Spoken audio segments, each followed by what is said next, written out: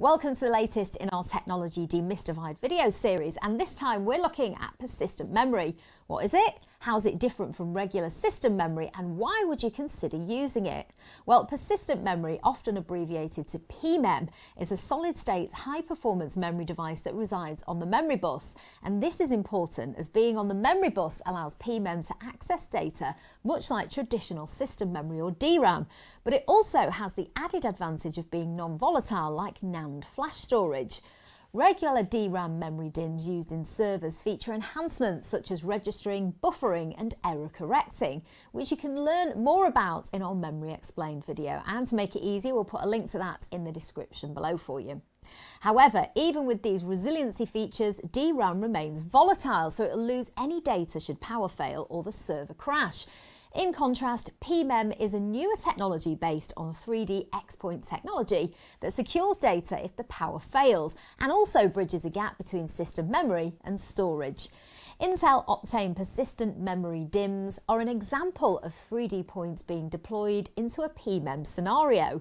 As you can see from this diagram, PMEM has similar latencies to DRAM, but the width of the pyramid also represents capacity, meaning that PMEM can deliver much greater addressable system memory than when using DRAM alone. As you can also see, it's less expensive than DRAM, so it's more cost effective when scaling large memory within servers.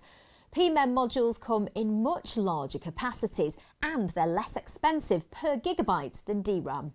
They also feature industry standard AES 256 hardware encryption, adding greater security for data in memory. However, PMEM modules are still more expensive per gigabyte than NVMe SSDs, so their use is only for when you need greater system memory, say above 1 terabyte, rather than replacing SSD capacity, as this would ultimately prove more costly. So now hopefully we understand where persistent memory fits within the system hierarchy. We need to understand how you introduce it into the system alongside traditional DRAM. Well, much like DRAM, it needs to be installed in groups dependent on the CPU's memory channel requirements. And the idea here is that rather than having a single memory pool of DRAM, you create a tiered memory scenario with DRAM acting as a fast caching layer and PMEM providing the additional capacity layer. This allows the DRAM to provide absolute performance when needed, but facilitates the server system scaling way above the memory capacity that DRAM can offer alone. The typical ratio of DRAM to PMEM should be 1 to 4, where you'd have four times the PMEM capacity than that of DRAM. And as datasets grow and applications become more memory hungry, Commonly required memory capacities like 512 gigabytes and 1 terabyte have been traditionally achieved using DIMMs such as 64 and 128 gigabytes, which can be expensive. With PMEM DIMMs such as Optane, these capacities can be achieved using much smaller and cheaper DRAM DIMMs such as 16 and 32 gigabytes, alongside large Optane DIMMs of 128, 256 or 512 gigabyte sizes. And this not only makes scaling of system memory more cost effective, but due to the high capacities of PMEM DIMMs, large combined totals may be achieved up to 6 terabytes, more than could be achieved with DRAM alone.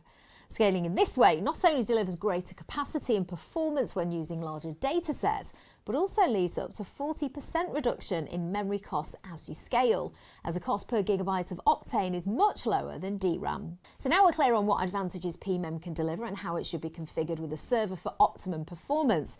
But what use cases really need to scale memory up to 4 terabyte capacity? Well, the most common memory hungry application is any form of virtualization. And of course, virtualization is when you take a single physical server and segregate it into numerous virtual machines or VMs. For example, splitting the resource in the server to get better utilization out of the hardware by flexing and scaling these VMs as tasks rather than having the server running 100% at some time and say only 20 to 30% of the time at others. Although this virtualization technique delivers more efficient utilization, each VM requires a lot of system memory allocated to it, and this is where PMEM can deliver both efficiencies and savings. Even though we stated that PMEM speed and latency is slightly lower than that of DRAM, when deployed alongside each other, the result is that the overall system works better as tasks are focused to either the cache or capacity tier of the memory pool. And this has the effect of reducing system process latencies to the CPU, thus increasing the overall server performance. These virtualization scenarios may include high performance computing, machine learning, AI, and scientific research, as they often rely on very large system memory capacities due to complex analytical tasks large renders, simulations, or simply just huge data sets. However, this overall system performance increase is also being exploited by various other industry verticals to accelerate their mission critical workloads.